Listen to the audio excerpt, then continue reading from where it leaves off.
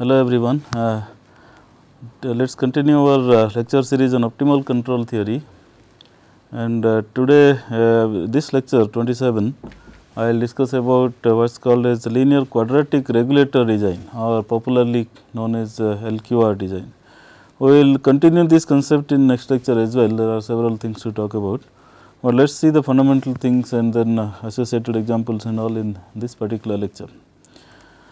So, generic objective as far as uh, any optimal control uh, problem is concerned, we have studied this particular class of problems, uh, very large class of problems rather, which tells that uh, the aim is to find admissible time history of the control variable u of t from t 0 to t f, uh, which uh, does these three things, which causes the system governed by this nonlinear system dynamics x dot equal to f of t x u to follow an admissible trajectory and it optimizes a, uh, that means uh, minimizes or maximizes a certain meaningful performance index that way.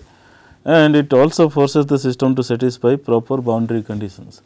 and uh, uh, whatever we discuss in this uh, this course we discussed about this particular class of cost functions which is uh, rather fairly generic.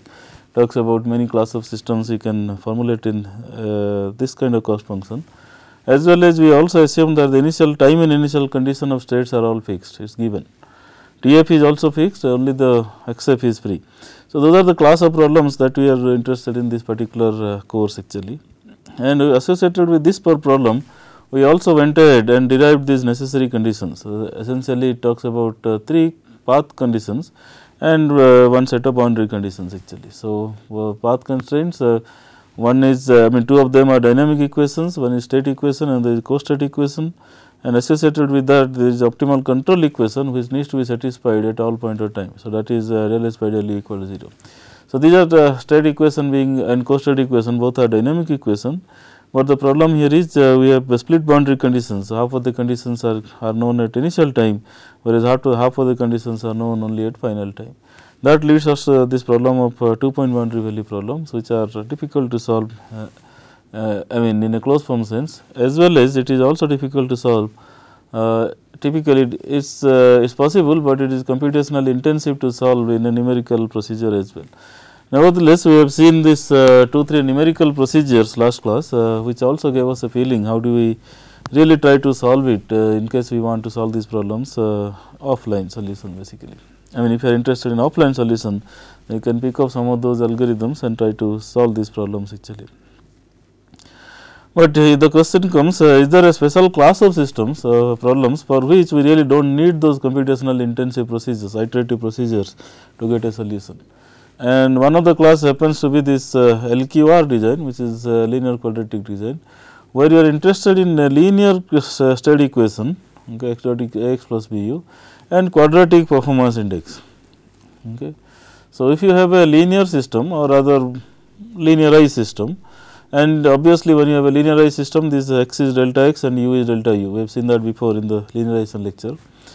And when you have this deviation perturbation sort of ideas and perturbation dynamics associated with that then obviously the aim is to kill the deviation or the to kind of nullify the perturbations actually. So, that means you are interested to derive the uh, uh, drive the state x to 0 whatever x is there the main aim is to drive the state x to 0 actually. Okay. So, if you drive the I mean if the aim is to drive the state x of the linear system or rather the linearized system which is like this to the origin that means x should go to 0 then how do you do that? You can do that by minimizing the following quadratic performance uh, index or cost function actually. Okay. So, with this if you see each of the terms are quadratic in nature, there is a final uh, penalty which is xf transpose sf xf and there are path penalty which is x transpose q x plus u transpose r u. If you have this quadratic function and uh, in the uh, I mean on the path and this quadratic function at the t at t equal to t f, then the aim is to minimize this state actually. Okay. So, x should uh, develop towards 0 the I mean that is our objective actually provided these conditions are met actually SF and Q are positive semi definite matrices and R is typically positive definite matrices those are necessary conditions that will pop up later also basically. So, we will see that a little later. Now, uh, as long as these conditions are met and there are several uh, little bit other conditions that we will see later these, these kind of conditions then things will be in place actually. Okay. Now, the question is uh, how do you okay the form of the cost function is fixed, but how do you select these matrices SF, Q and R. So, if uh, I mean these are the only conditions there, but remember these are matrices, these are not even scalars actually. So, selecting matrices which needs to be positive definite and positive semi definite is also not a trivial task actually. So, there are but there are some guidelines okay. So, one of the guidelines is uh, is like that which is popularly called as Bryson's rule actually. But anyway, so the whole idea here is if you have three different terms, okay, they are competing against each other, then somehow as an intuitive guess you do not want to have a kind of preferential bias to anybody. So, try to kind of uh, normalize each of the terms uh, so that uh, they have the, each of the term has a fair chance to contribute actually that is that is the whole idea there. So, if I select this uh, SF Q and R as diagonal matrices and then each of the diagonal element I, I select something like that suppose SFI is maximum expectable maximum expected or acceptable value of this 1 over xif square, then what happens is this particular thing okay, gets divided by norm of xf in a way basically. Okay. So, it is x transpose x xf transpose xf divided by norm of xf basically. I mean that way it is roughly type of uh, norm of not really norm of xf, but uh, norm of maximum value of xf basically okay, that way. Okay. So, it is similar terms happen here, similar terms happen there. So, you get uh, some sort of a normalization by selecting this way. So, SFI you select uh, maximum expected value of uh, like 1 by SFI is XIF square, things like that actually. Okay. And uh, I mean the whole idea here is SFI, uh, I mean if you let us say if you take Q, then what you 1 by so Q let us say draw this probably. So, q i I will put it like 1 1 by q i okay. I mean this is q i basically like q 1 q 2 q 3 in the diagonal everywhere else it is 0 0 and then q i I want to select something like 1 by x i max okay, square that way I will select. So, if I select if I if I see that this is like half q q i say the, the, this particular diagonal element is something like half q i x i square so, then if I, am multiplying this by half uh, x i square basically. Okay. So, if I do that then uh, it turns out that uh, this particular term is nothing but half x i square by divided by x i max square actually. Okay. So, that way is getting kind of normalized there. Okay. Similar thing you do for q and r actually. Now, there are uh, some facts to remember or some conditions to remember in this particular design or any other design this pair A B needs to be controllable. That is that is the first requirement actually. For any control any control design for linear system the pair A B needs to be controllable. And there is also associated condition that A square root of q needs to be detectable as well actually. That is something related to Riccati matrix solution and all that uh, we not discuss so much on that, but AB if the pair AB needs to be controllable is very apparent it has to be it needs to be satisfied for any control design and LQR is not an exception actually. Then these conditions we already discussed okay. So, these matrices are usually chosen as diagonal matrices and SF and Q needs to be positive semi definite whereas R needs to be positive definite and then by default suppose nobody tells us what is the value of this TF then the value of TF by default is assumed to be infinity. Uh, that means you are talking about a large final time problem actually. So, there is a necessity there is a necessity uh, uh, I mean you will see that that uh, that uh, assumption TF goes to infinity simplifies the uh, development quite a lot later. And most of the time LQR is used in the infinite time setup anyway you talk about stabilizing problems and all where you inbuilt assumption is TF goes to infinity. So, if nobody tells that it is really a finite time problem, I mean this is also a finite time problem by the way where TF is actually fixed at infinity. Okay. But if it is not told that okay TF value is exactly that much then by default we need to assume that TF is infinity actually. Okay. We will see that in a second why that is uh, beautiful both it leads to a lot of simplification actually. Then also remember that constraint problems that state and control inequality constraint problems are not considered as part of this lecture. Okay. Probably those will be considered later or maybe in a different course and things like that actually not necessarily in this particular course. But there is a so there is a mechanism of handling that in a soft constraint manner that means if you if you really do not want too much of control here in any channel then increase this corresponding R to, to a high value so that the corresponding u will become small out here actually. So, in a soft constraint manner things are in place, but really if you want to impose hard constraints on top of it, then there are uh, different conditions uh, like quantization principle and all that. We are not going to discuss those things in, in this lecture actually. Okay. So, this uh, anyway. Coming back to this, so that is the problem definition. So, we want this uh, system dynamics in place. So, we want this uh, uh, state to go to 0 along with uh, I mean while doing that we do not want too much of control. So, there is a control penalty as well and uh, this is the particular cost function that we, uh, we are interested in. Initial condition of the state is fixed, but final condition is free. However, final state is actually getting minimized through this particular component of the cost function. That is the problem. So, let us go back to this problem and then try to visualize what is happening here. So, the path constraint uh, or the performance index uh, to minimize uh, what and here certainly we are considering a minimization problem because xf needs to go to 0 anyway. So, this particular cost function j contains this phi of xf and this L of xu in the in the original setting what we discussed here this phi and this L are given by those those terms actually this phi and that L. Okay. So, path constraint happens to be x dot is x plus b u boundary conditions x of 0 is specified and TF is fixed, but x of TF is free actually. So, under those conditions how do we handle this, how do we get that actually. Okay. All right. So, if you see that I mean let us go back to this problem and try to utilize these necessary conditions of optimality and in that setting we will need to first see that phi of x f is this one okay and Hamiltonian is uh, L plus lambda transpose F. So, L is that part of it okay, that is L plus lambda transpose F, F is that part of it. Okay. So, L plus this is L okay, plus lambda transpose F, F is F plus B u. Okay. So, once this phi and h are ready, we, we can uh, talk about uh, state co-state and optimal control equation as well as the boundary condition. The state equation already we know x dot is x plus b u Co-state equation is uh, negative of del h by del x.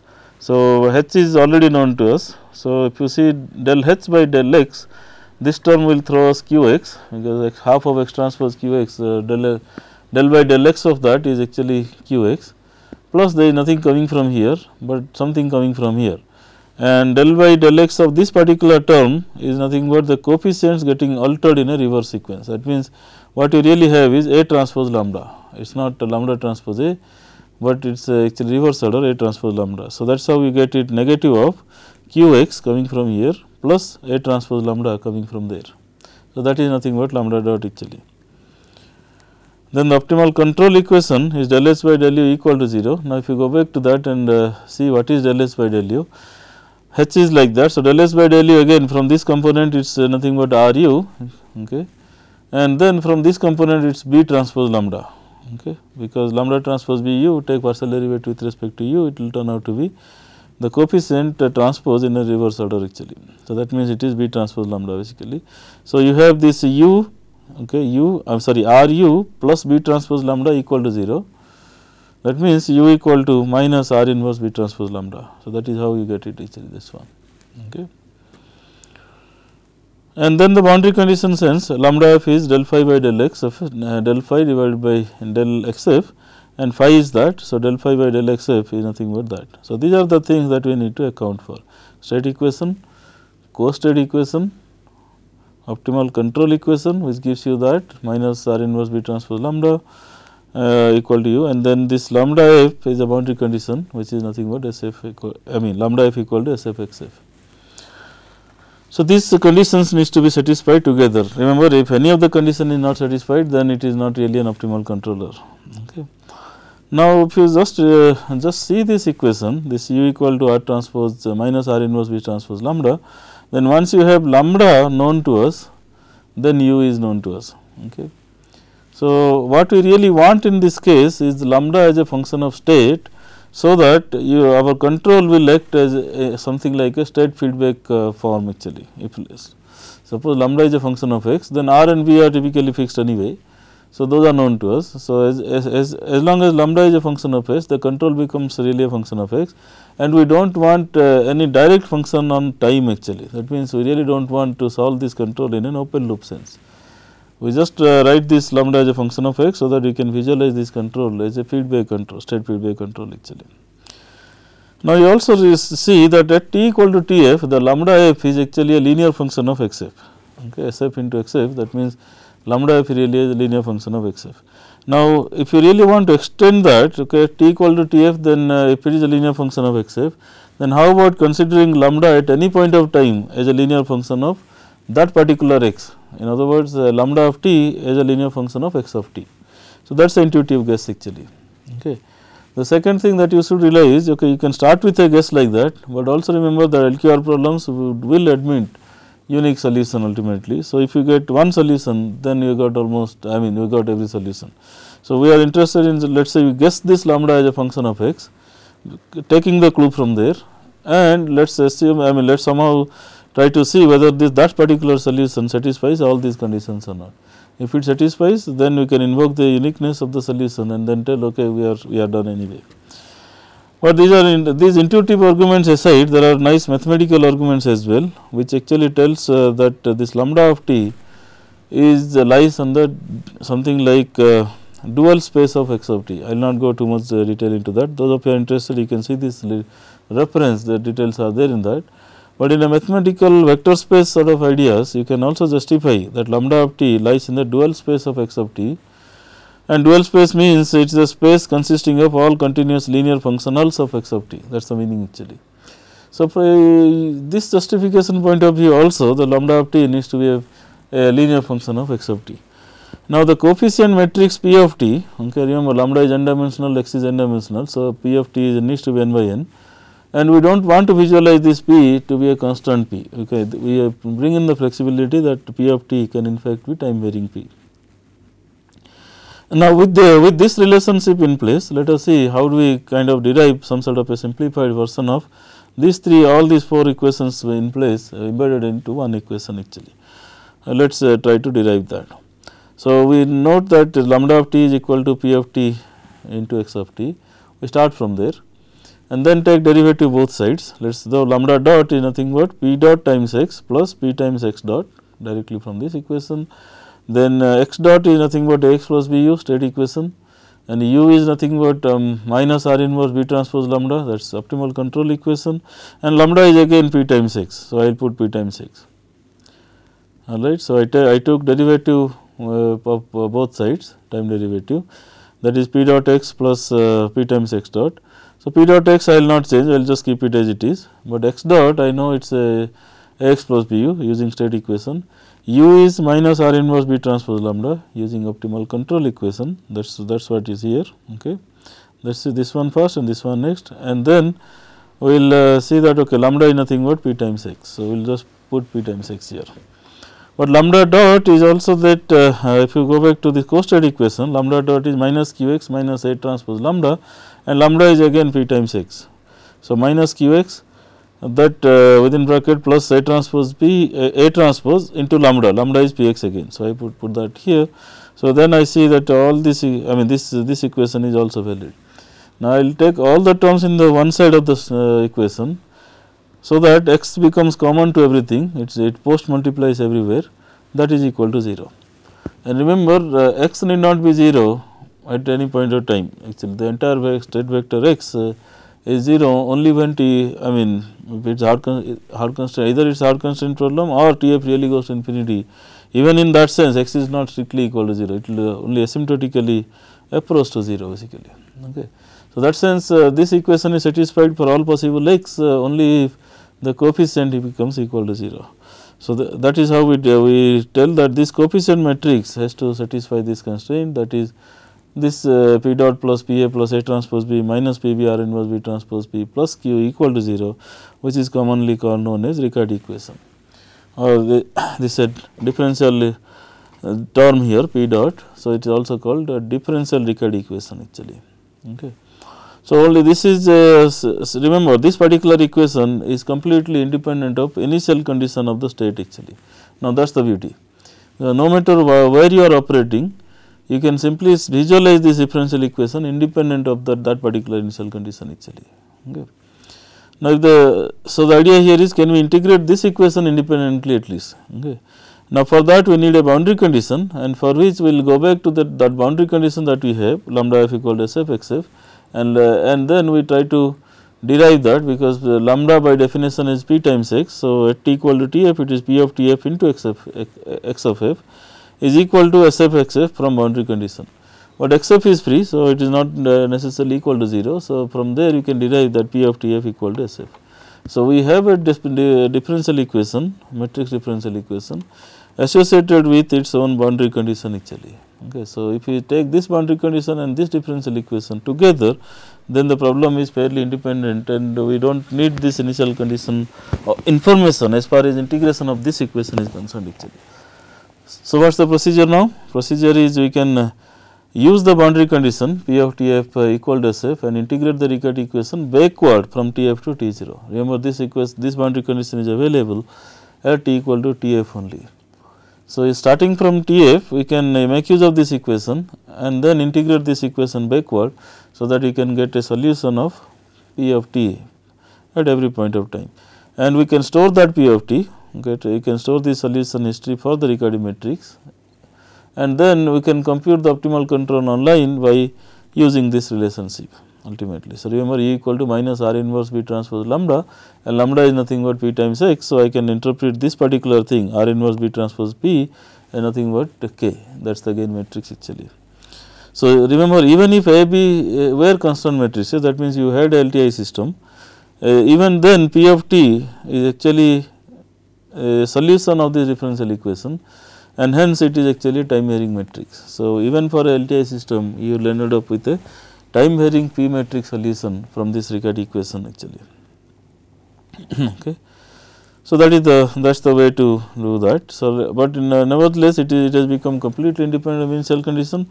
All this P solution can be computed offline and you can store that solution and uh, online you just need the information of x and then your controller is ready because gain matrix is already computed from there. So, you select that particular p at any point of time and then compute the corresponding gain that way and you equal your control u equal to minus k times x that is the solution that you get actually.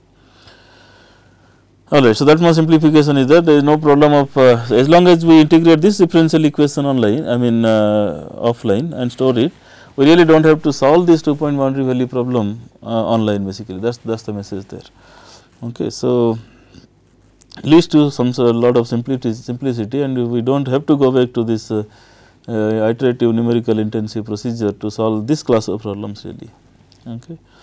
And then what happens this uh, uh no matter okay it has it has, we have got some simplicity but also it uh, remember that we need to compute the solution offline, integrate the solution offline, store it, uh, use it online.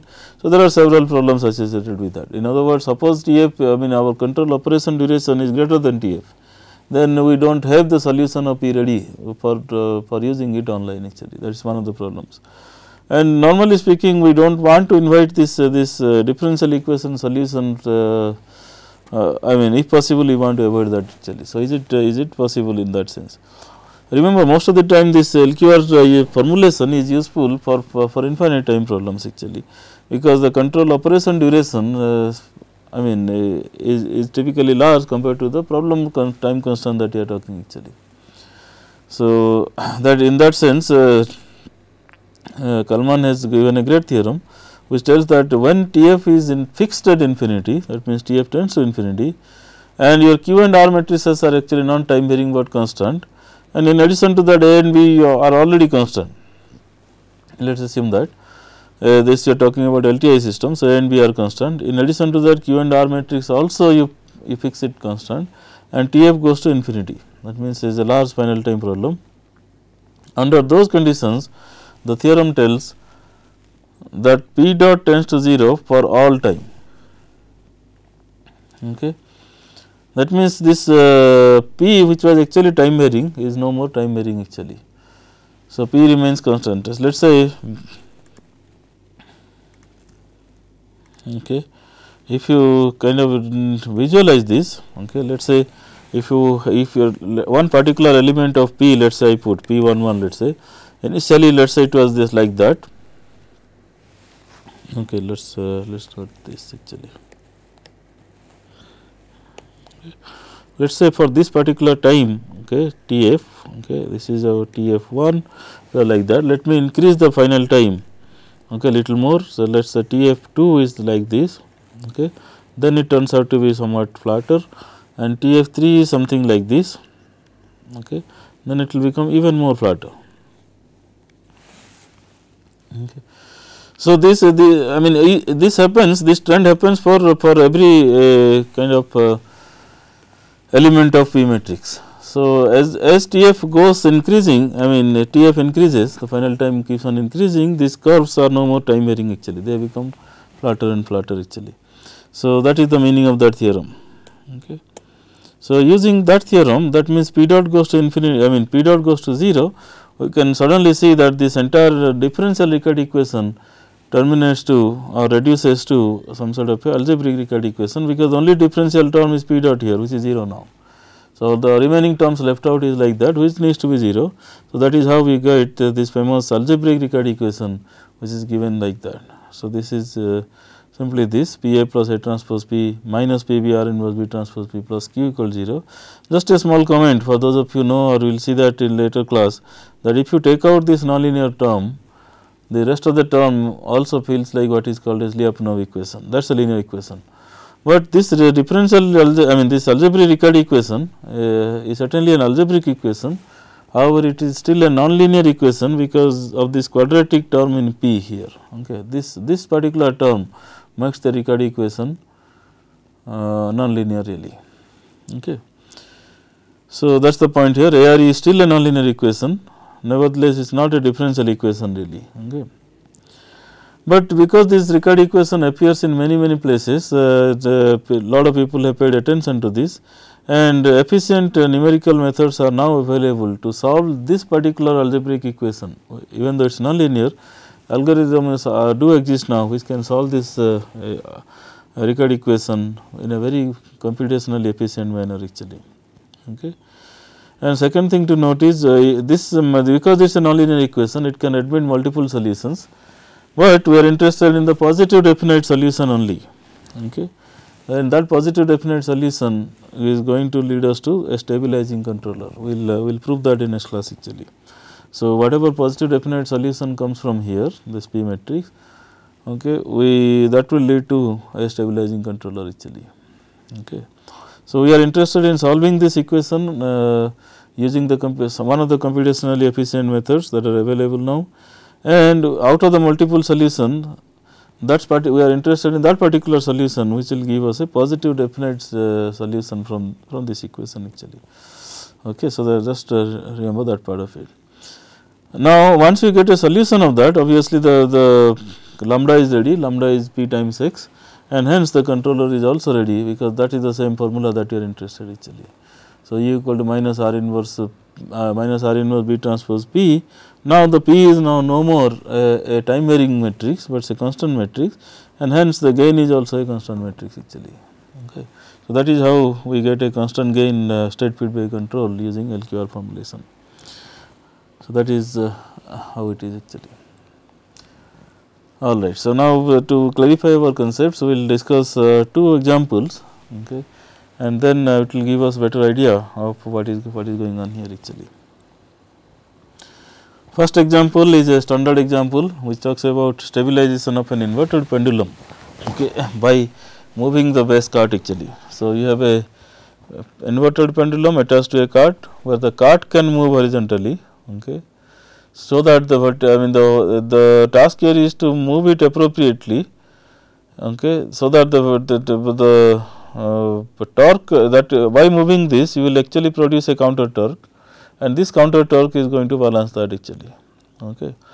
So, we are not interested in the linear motion of the cart per se, but let us directly interpret that whatever uh, torque that you are generating by this movement is actually the control variable and uh, the control variable per se is not really the torque, but torque divided by moment of inertia which is nothing but the negative of angular acceleration actually. So, that that is the that is the control variable that you have taken for solving this problem. But remember once you know this control the torque is known and once you know the torque uh, depending on other dynamics other parameters you can actually compute this, uh, linear motion as well actually. So, the, ignoring those complications and all we will just directly take uh, this control u as a counteracting angular acceleration that can stabilize this uh, this mass actually okay, in the in the inverted position. Now, we will not go through the details of dynamics uh, how they are derived and all that. Uh, the dynamics of a pendulum is fairly well known probably, but we can uh, linearize this equation that particular equation about the vertical equilibrium position and get this kind of a linearized system dynamics actually. Okay, where omega n square is the system parameter given by g by L, L is the length of this uh, line actually. Okay. So, first thing is to write this uh, system dynamics uh, in state space form okay. and once I take theta x 1 equal to theta and x 2 equal theta dot I can visualize this system dynamics this way okay, which is very straightforward because x 1 dot is x 2 which is theta dot okay, that is straightforward and x 2 dot is this equation which is omega n square times theta which is x 1 that is what it is here and minus uh, 1 times u basically. So, that is how it comes here. So, we have got a A matrix and we have got a B matrix and that is x dot equal to x plus b u is known to us now. Now, we have to select a performance index which can stabilize this thing uh, about the vertical equilibrium point. So, let me select a performance index this way because theta needs to be minimized, theta has to be 0 actually ultimately. So, if theta needs to be minimized then uh, let me select a cost function this way where 1 over c square is nothing but the weighting thing for the u square term actually. Okay. So, if I do not want too much of uh, control uh, then I can aim to increase this uh, this term 1 by c square of 1 by c square term that means c I have to decrease actually and vice versa. Okay.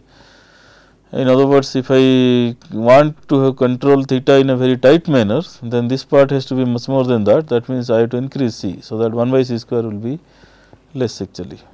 Okay, so that is that is how it is. Now, once you have this I mean system dynamics you have A B matrices. Once you have the cost function ready you have Q and R matrices and we are interested in infinite time setting and whenever there is infinite time thing remember xf will go to 0 at infinity.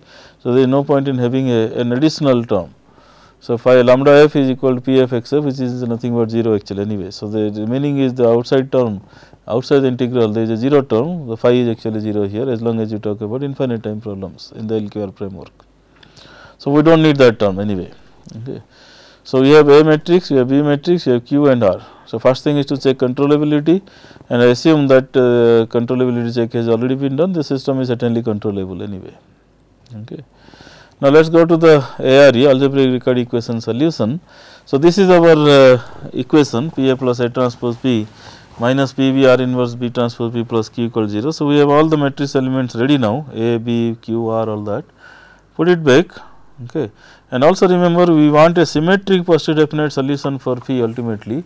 So, we will take the P matrix this way which is already a symmetric matrix okay, P 2 P 2 here and P 1 P 3 there actually.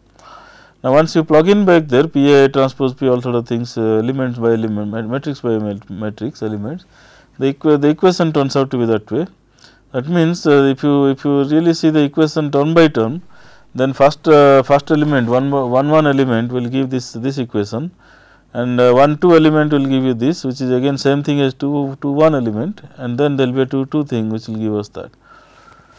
So, we have three free free variables p 1 p 2 p 3 here and three equations in place. Okay, so certainly we can solve these three equations but these equations are nonlinear remember there is a p2 square p2 p3 term here p3 square here like that. So, we will get uh, kind of multiple solutions actually. So, from this equation it is obvious that p2 is like this. So, you can apply this uh, I mean quadratic term solution formula and get the, get it that way and from here you can get p3 that way. So, we do not uh, but we have the sign ambiguity in both places and we do not know what is right now actually. But you also see that uh, P 2 we cannot tell P 2 is a off diagonal term, but P 3 is a diagonal term and we want a positive definite solution. So, P 3 needs to be positive actually. So, this this uh, minus sign is ruled out now. So, we will take P 3 as positive of 1 by c and uh, square root of 2 P 2 actually, but remember 2 P 2 is also not known. So, to get a real number P 2 has to be a positive number first actually. Okay. Now, that helps us in deciding this this sign ambiguity, but still the sign has to be only positive quantity, because remember this quantity is certain square root of this quantity is certainly greater than that. So, if you take negative sign here then P 2 becomes negative number and P 3 becomes complex quantity which we, we do not want that actually. So, that way we will take only positive thing here and positive thing there Okay. So, then we are we are done with P2 and P3 and P1 is a direct solution in terms of uh, P2 and P3 we can just see from here P1 equal to this term minus that term. So, once P2 and P3 are in place then P1 solution is also ready. But in this particular problem we may not need P1 solution because ultimately the gain matrix is not a function of uh, P, P1 really, but certainly you can solve for that. So, that is that is what is all given here as I told P3 is positive square root of that and P2 is also positive positive sign out here actually and P1 is can be computed this way. Anyway, ultimately uh, K is gain matrix K is R inverse B transpose P. So, if you plug in that it you, you can see that uh, this gain matrix turns out to be like this and hence the control is nothing but uh, minus k times x where the k is like this uh, row vector and x is, x is theta and theta dot. So, you can you can put that theta theta dot and then negative sign. So, u control is actually this way c square into p 2 theta plus p 3 theta dot actually. So, as long as you keep feeding this theta and theta dot information which is state information then your control is, a, is actually ready through the gain matrix k. So, that is the whole idea of uh, synthesizing the control for the inverted pendulum this way.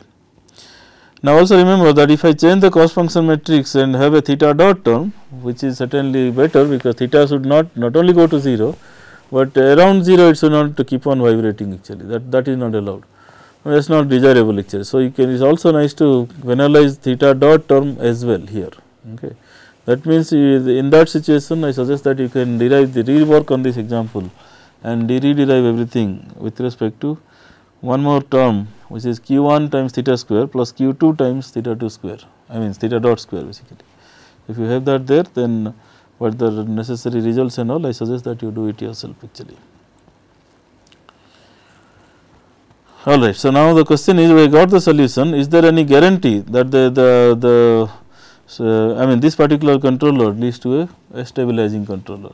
Let us examine that question.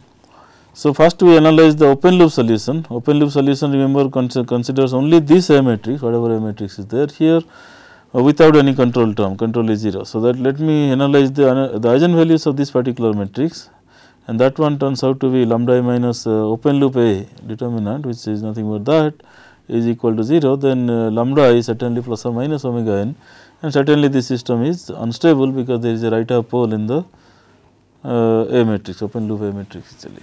Okay, so, I said because of this uh, one right half pole on the real axis uh, certainly it is an unstable system. But is the closed loop system stable at least? So, let us analyze the closed loop matrix now which is uh, ACL is A minus BK now that is what it will operate right a, x dot equal to AX plus BU and x okay x dot is equal to AX plus BU okay and u equal to minus kx. So, if I put them together then x dot equal to a minus b k times x. So, that is uh, that is what uh, I have here. Okay.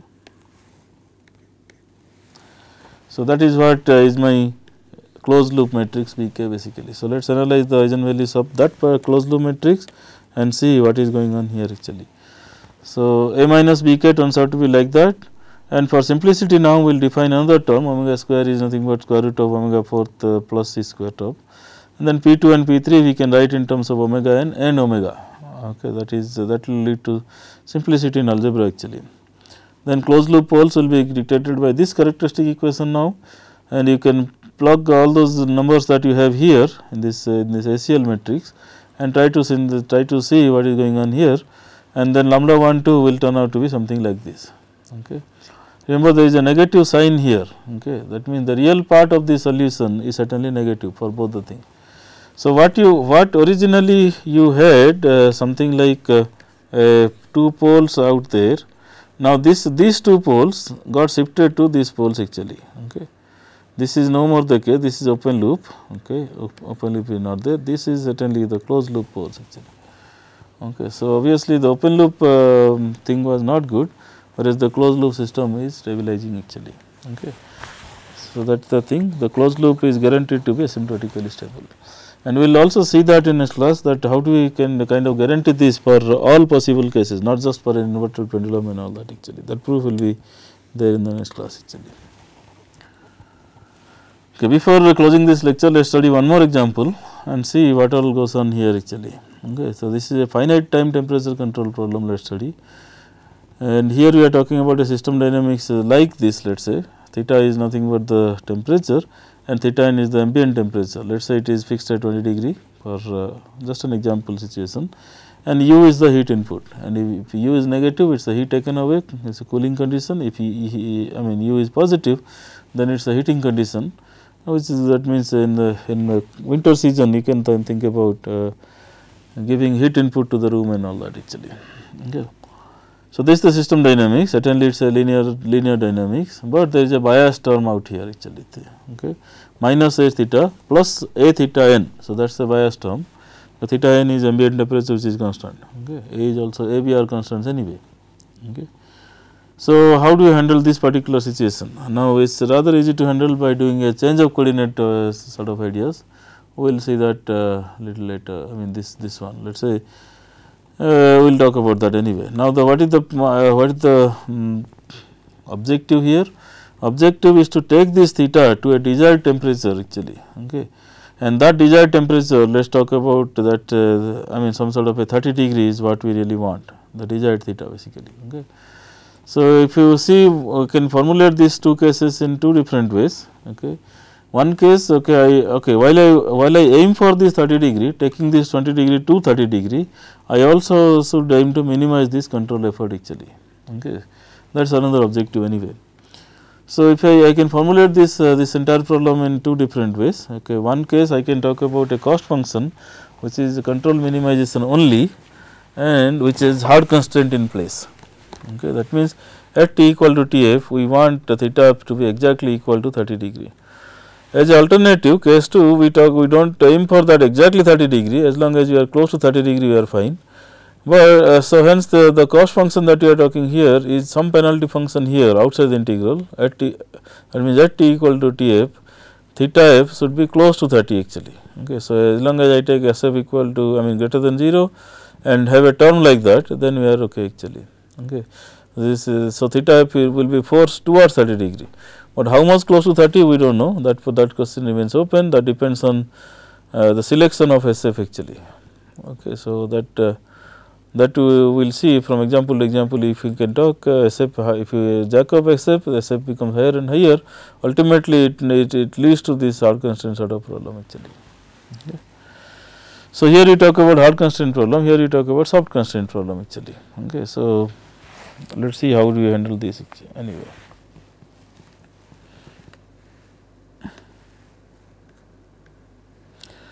Anyway, so that is uh, uh, let us see how do we handle this. Now, the solution part of it okay. First we do a change of variable. So, we take theta minus theta a the ambient temperature that is what our x is and hence we go back to this this uh, this dynamics then this dynamics remember theta a is uh, is fixed okay. So, maybe this is theta a okay yeah this is theta a actually okay sorry.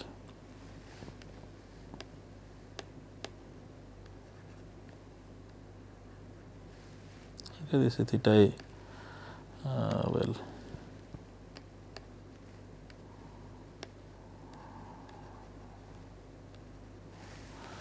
okay alright so if it is theta a then we can talk about change of variables here so change of coordinates essentially okay then the theta x is defined as theta minus theta a.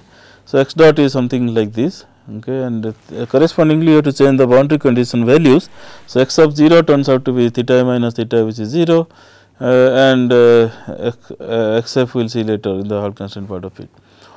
Okay. Now, what you what you are doing is okay no matter whether you have hard constraint or soft constraint Hamiltonian remains same because it is nothing to do with uh, this particular type I mean whether it is outside term Hamiltonian is only L plus uh, lambda transpose f which is either inside the integral or system dynamics.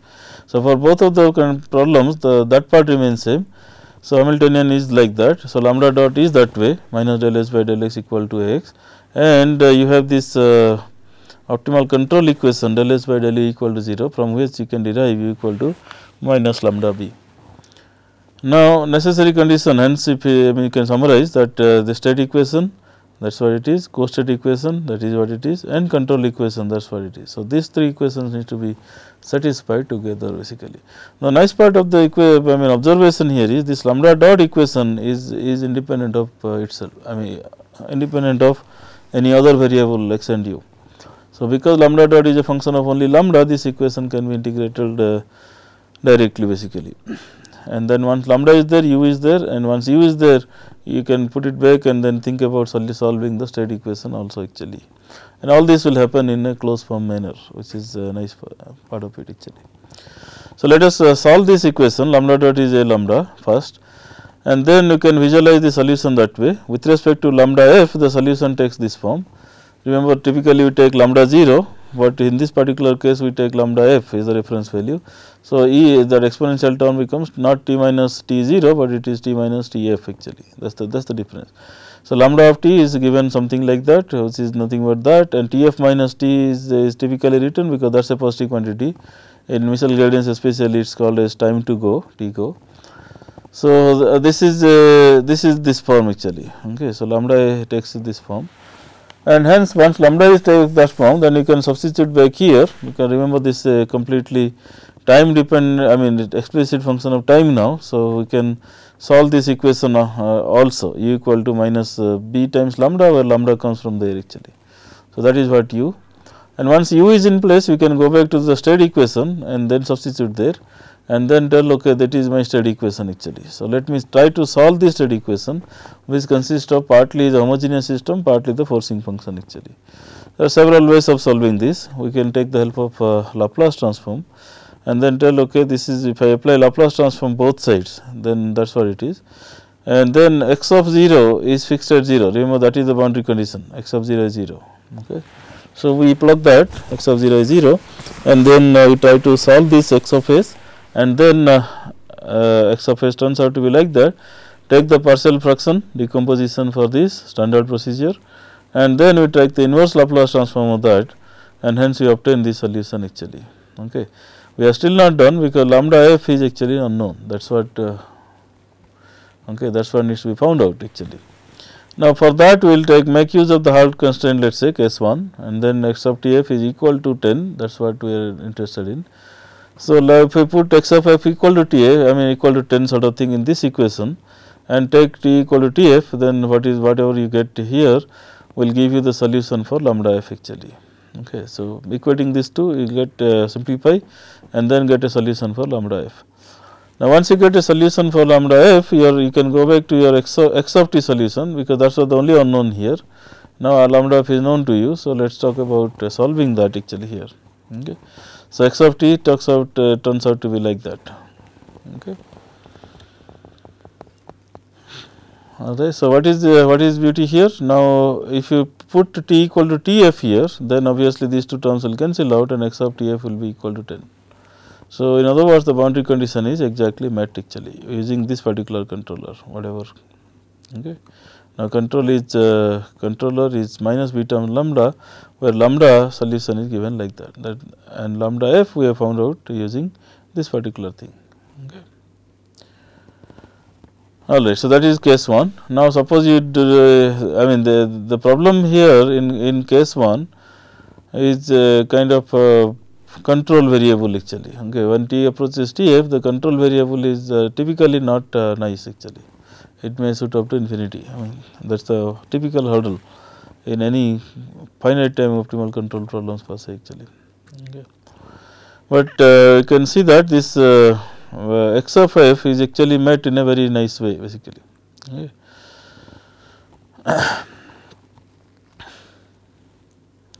okay so, uh, now let us see that uh, how do you handle this problem in a soft constraint manner because that is the hard constraint way. Now, case 2 is soft constraint. So, we go back to this cost function and tell okay lambda f is this way now okay from where you can solve x f in terms of lambda f that way. Okay. So, we have the solution in place already okay whatever that part remains same we have to solve the lambda f in a different way though actually okay. So, we put this solution you put equal to T f and try to find a solution for lambda f uh, and that is what it is uh, done this way.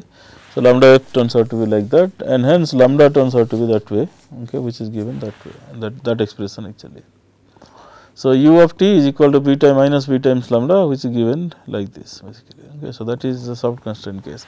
Now, the question is if I solve the same same problem using soft constraint and hard constraint, the only thing I can actually approximate the hard constraint situation through the soft constraint formulation by taking SF going to infinity basically this cost function if I take SF infinity then this term is predominant. So, that is what the hard constraint I mean the soft constraint will try to approach the hard constraint problem. Does the solution also approach the hard constraint problem I mean that is that is the question actually.